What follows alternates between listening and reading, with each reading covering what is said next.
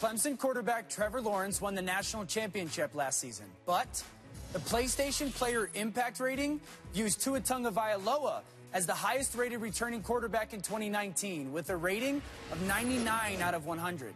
Yes, Tua benefits from having elite talent all around him, but the rating accounts for the ability of all 22 players on the field and still considers Tua to be worth 18 points higher per game over replacement level FBS quarterback.